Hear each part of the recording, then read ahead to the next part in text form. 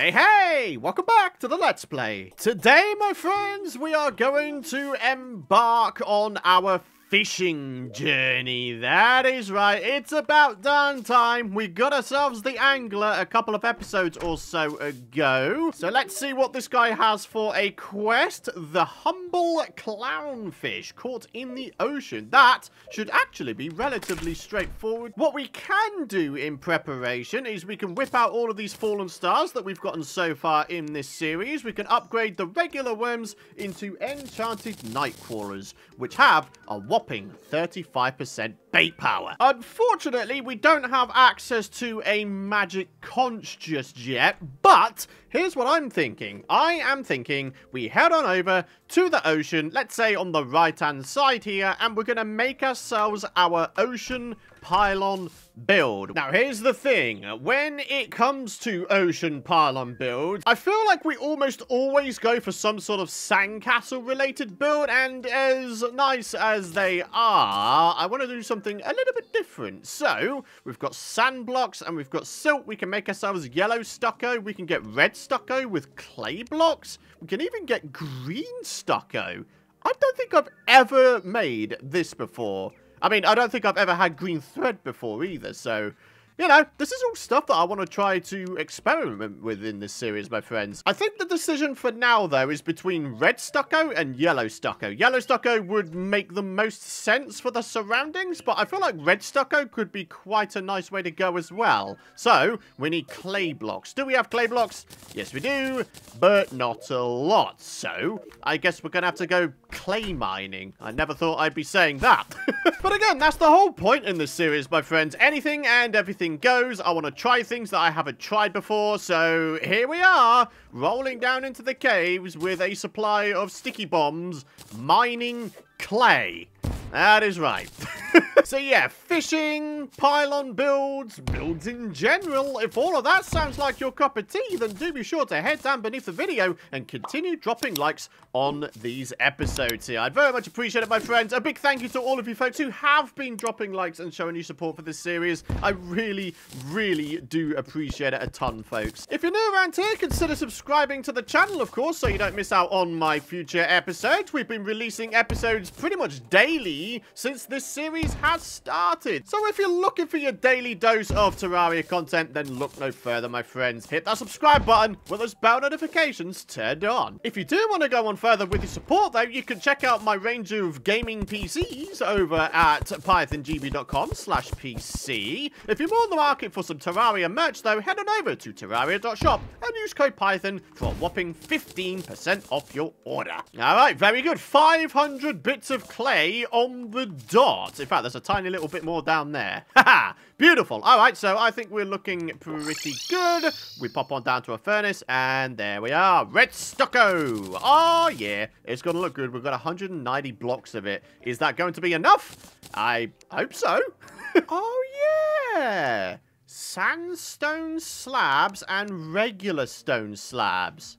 Uh, we are definitely going to wind up building with both of these at some point in this series. That's why I love the heavy workbench. You get access to so many more brilliant building resources, don't you? So then, ladies and gentlemen, it's off to the right-hand side ocean. Needless to say, my friends, this is not going to be the only fishing build we do in this series. There are plenty of other biomes where we can get unique fish from. For example, in the Crimson, we can get ourselves the Crimson Tiger Fish and the Hemo Piranhas. Both of those are very useful for potions, so that would be quite a nice place to make a fishing build at. Maybe the Underground in general, so we can get Armored Cave Fish, the eventual Hallow, so we can get Prismite for Life Force potions. There's just so many different locations in a Terraria world where you can get unique fish, which are useful for potion ingredients. So yeah, like I say, this is not going to be the only fishing build that we do in this series. And talking of builds in general, yeah, we're going to have fishing builds, we've got pylon builds, maybe a few farm builds, maybe a gem farm, maybe a tree farm. There's just so many different building opportunities in a Terraria world. Like, truly there is. You just need to be creative more than anything. Just come up with an idea. Maybe come up with an excuse to build. For example, oh, hey, I want to make myself a farm. And then turn that into a build idea. I think that's a good way to go. I really do. So in this case, it's kind of a double whammy. My excuse to build is the fact that we want to make ourselves a little fishing area and also a couple of NPC houses so we can have a pylon here. So, yeah, we have the excuse. We just need to come up with some ideas. Hmm, shell piles. Not something I've built with a great deal in the past. Wow, in the evening time, this red stucco looks very pink, doesn't it? but you know what? I'm actually kind of in love with it. I actually really kind of like it. I'm definitely down with it, especially for something a little bit different compared to what we would usually use anyway. Anyway, we've got a palmwood chair, very good. I feel like what I might want to do is make like a little bit of a platform going out and then we can have like a little fishing cabin sort of separate from the pylon build. I think that could be a really nice idea. Probably worth picking up some coral here, by the way, because we could use coral to make fishing-related potions. All right, here's my idea. We're going to have ourselves a couple basic NPC houses just on the floor, and then we're going to have the pylon sort of in the attic. Some accidental good timing news, folks. It's actually nighttime right now, so when we get these NPC rooms uh, fully up and running, we should be able to get them to spawn in pretty much immediately, which is going to be a very, very handy dandy. All right, we've already got some doors, so let's place them down. Looks like we may actually need some more shell piles, so I'm going to have to risk my life down in the ocean again. See if I can't find myself some more. Uh, okay, looks like there's at least a couple more little piles. Okay, excellent. Now to just put a little bit of furniture in these places here. We can have ourselves, I don't know, maybe a candelabra right there. Maybe a little box standard candle right there. And maybe a lantern in the center of each of them. That looks pretty cool, doesn't it? Now, if we're nice and quick, we might be able to get ourselves the background walls in, make these valid NPC houses, get the dudes to spawn in, and then we can get on with the fishing quest. And also, of course, more to the point, get ourselves the pylon. And ladies and gentlemen, that should just about do it. So let's have the angler down here. Uh, who else should we have down here? I don't know who actually likes the angler. I may have to wiki this. You know what? There's a better idea here. We could just use the golden combo, can't we? Let's get the nurse and the arms dealer here. And we should pretty much be guaranteed the ocean pylon at that point. All right, so they've just spawned in. Do we or do we not have access to it? Yes, we do. There we are. There's the ocean pylon. The unfortunate thing is I don't have the forest pylon just yet, so it's weird. Technically, this is the first pylon in our world. That's crazy. See, the thing is, though, now that we do have the pylon and we've already got it placed down, we don't need to worry about NPC happiness anymore. So now, the angler can indeed live here. So, ladies and gentlemen, it is now time. Let's do this thing. We're looking for a clownfish from the ocean. Oh, fourth time lucky. Well, well, well. There we have it. We've got apprentice bait and sonar potions. That was our very first fishing quest of the entire series. All right, how's about we get this little base sorted out? What kind of roof do we want to have on this thing? Hmm? I don't really know if I'm honest with you. This is the only issue when you're sort of winging it as you go along. Sometimes you might get stuck and you don't know where to go with your build. Ah, jeez. Actually, do you know what? I think I have a bit of an idea. You know how you can put, like, a goldfish in a bowl and it's just sort of swimming around? Can't you do that with a whole bunch of other sea critters? You can put them in, like, a terrarium and they're all swimming around? What I need to try and determine first is just how many sea critter cages you can even get in the game. Alright, turns out there's actually not that many sea critters you can put in cages. So I've decided to also bundle in the water strider and the frog into that category. The other three actual water critters you can get, of course, are the seahorse, the pupfish, and the goldfish. So that means a grand total of five terrariums will be going inside of this top build here. I do have a little bit of an idea as to what we could do, though. I'm thinking we make the build rather like this. And then we could have like a little sort of balcony either side. And then we could have ourselves maybe... Uh, oh, for goodness sake. Are you kidding me? Bro, I'm busy. Oh, no. Now that there's actual NPCs here, that means the Goblin Army is indeed going to be taking us down here. Ah! Come on, man! Ah, jeez! What the hell? what? Yo, yo, yo, yo, yo. Oh, this ain't cool at all, dude. Oh, I'm not happy with this. The only upside to this, of course, is the fact that we will get ourselves a Goblin Tinker at the end of it. Ah, oh, do you know what? Let's just quickly go home and we are going to whip out... Where the devil are they? We need our Jester's arrows if we have any. And then we can do some damage. So let's grab ourselves a bunch more arrows. Let's convert. Let's just go for all of them. Let's just do it. There we are. That should do the job quite nicely. What we could also do with right now is one of these bad boys. Can I place this thing down, though? Ah, jeez. I'm not going to have time, am I? I'm not going to have time. There's something in the way. No. Okay, do this. And then uh, TP. Ah, no! Defeat the current threat. Terraria, you yourself are the current threat. I was wanting a chill building episode, Terraria. All goes back to what I keep on saying, though, folks. Terraria throws curveballs at you. Darn near constantly, doesn't it? Son of a gun. But like I say, there is an upside. We'll have the Goblin Tinker spawn and then we will be able, believe it or not, we'll be able to already start combining accessories. Ah, this is going well. How's your day going, folks? it's gotta be said, to be fair, the Jester's arrows are definitely doing the work. So, you know, I can't complain too much, I guess. Just only the fact that these guys are here when I was trying to have a nice chill building episode. So, um, yeah. Well, my friends, like most things in this game, especially the events, is all about getting into a bit of a flow. And, well, since switching to these here Jester's Arrows, things have actually not been overly bad. I just feel like this event has already lasted an eternity, and I'd very much like for these guys to go away now. so... Ah, it'll be a matter of time, though, folks. I guess that could be a pretty cool episode end goal, though, folks. Getting the Goblin Tinkerer, maybe starting to, you know, combine some of her accessories. I think that'd be a really nice thing to do. To be able to do that on only episode 6 as well. I mean, I don't know about you folks, but that's not bad going, is it? Not really. So, yeah, I guess in one way, I should thank these guys for deciding to spawn in. The one way being the Goblin Tinkerer. But aside from that, like I say, these guys can do me the honours of just buggering off for the most part. Hey, and there we are, in fact! right, now we need to replace all of our doors because those stupid goblin thieves always break them all down. Or is it the peons who do that? I don't know. Anyway, there we are. Everything's restored. Operation Restore is a success. And by the looks of it, all of my NPCs are still okay and all still here, I think.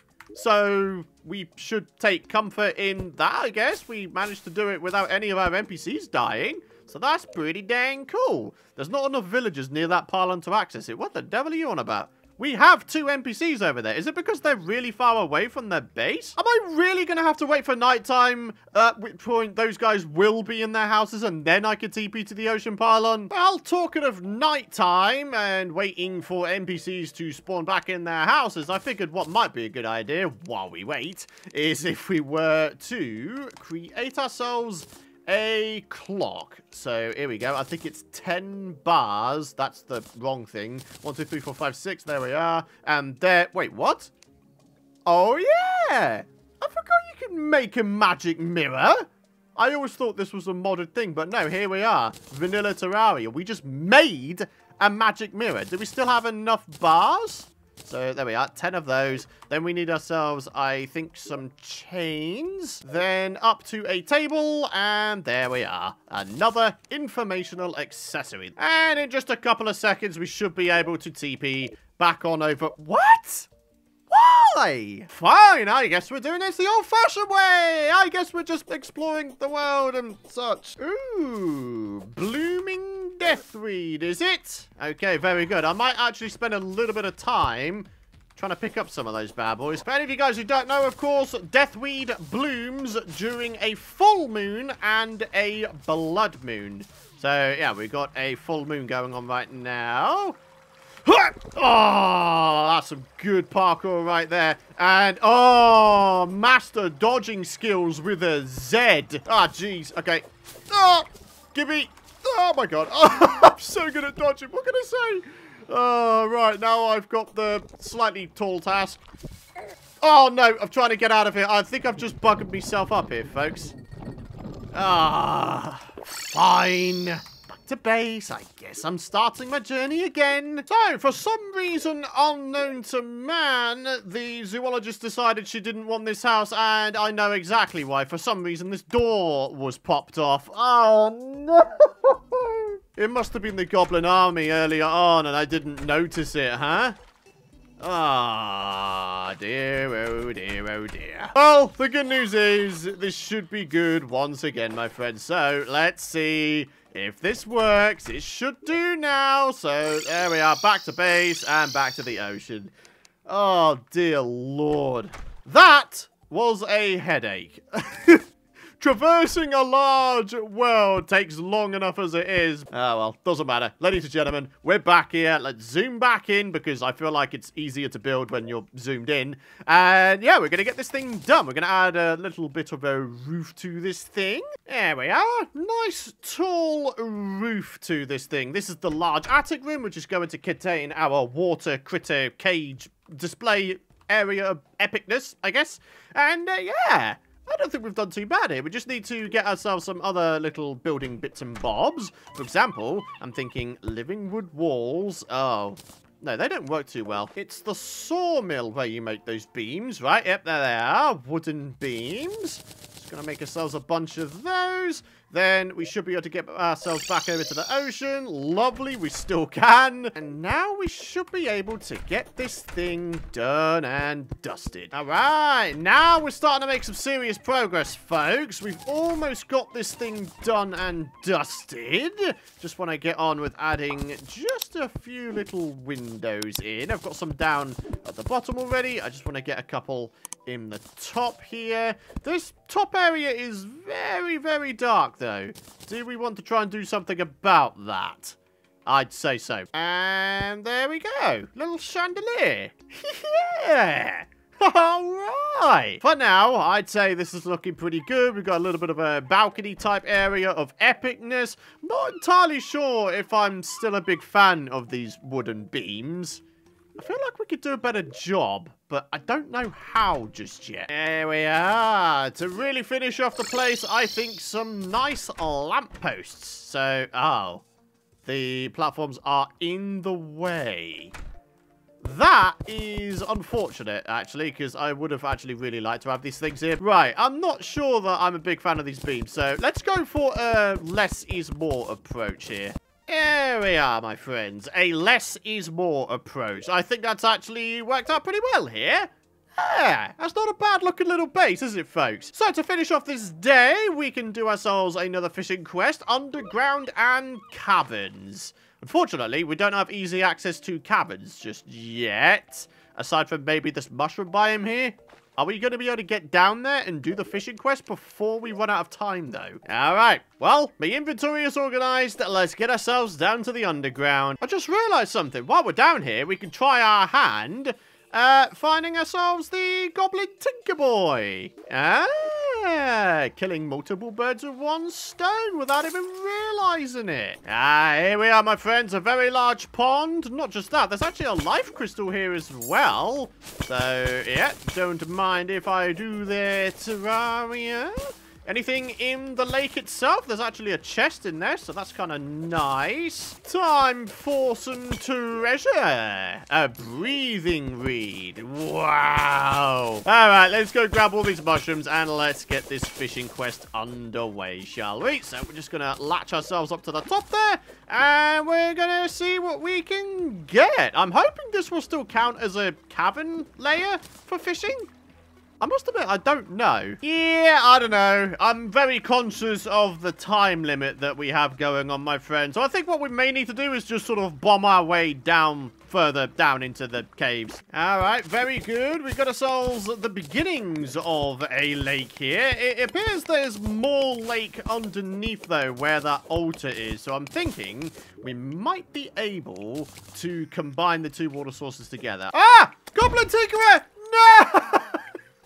the haunted miner killed him! Oh, jeez! You son of a gun!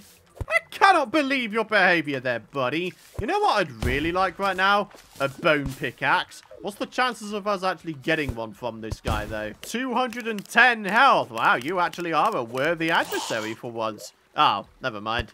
You gave me nothing. Ah, oh, jeez, I'm faffing around too much. Come on, Python. Get back to your quest, buddy. Right, boom, and boom. Fish. Come on, make millions of fish come to my little bobber. Do it. Armored cavefish. Nope, not what we're looking for. Hey, and there we have it. All right, ladies and gentlemen, we can now get this thing handed in just before the next quest begins. Oh, no way. We've got ourselves a fishing-related accessory already. Hey! So that's 5 out of 12 informational accessories we need for the eventual massive shell phone item that I'd quite like to go for in this series, only I once did a YouTube short on that bad boy, and I called it the best item in Terraria. Because still, even today, I think it still is the best item in Terraria. I mean, how can you not love the shell phone in this game? So then, do we want to open up these crates as we go along? Yes. Let's see what we get. Oh, wow. Five tungsten bars. Was that worth it? Not really. but check it out, folks. We've got specular fish. That's a potion ingredient, as are the armored cavefish. And as a result, check it out. We can now make ourselves endurance potions, which is pretty awesome. And then we can make ourselves some cooked fish with the bass that we've been catching. Yeah, we're not doing too bad, are we, folks? In terms of little buffs here and there, I think we're doing pretty darn well. All right, it is now morning, so let's wrap up the episode with another fishing quest. You gotta be kidding. It's the same exact one. Ah! Bound Goblin! I done found him. Right, uh, if I could just get myself over to him without him despawning. That would be very, very nice. All right. No, you do not take out my bound goblin. Go get out of here, Sonny Jim boat. There we have it. Right. Rocket boots and the Tinker's Workshop. That's all we really need. He should automatically wind up back at a house at some point. But for now, I want to keep on with my fishing quest. I want to get my third one done for today's episode. And then we could probably wrap up by combining some accessories. Wow. The first one. You love to see it. I certainly love to see it at any rate. So here we are. What do we got? We've got a fish hook. Is that better than the slime hook? Uh, I mean, I think so. Uh, shoots twice. Ah, interesting. The question is, does it reach further than the slime hook? Let's give it a bit of a go. So if we start from this tree, for example, uh, it reaches what? Just further than the angler? And this one pretty much reaches the angler. Okay, so the fishhook is better. So then, temporarily, we're going to put the Tinker's Workshop right there. We're going to take off all of our accessories, and we're going to see what we can make. Ah, uh, pretty much Spectre boots, and that is it. Ah, uh, I mean, yeah. Why would we pass those up? We've got ourselves a little bit of flight now, everybody.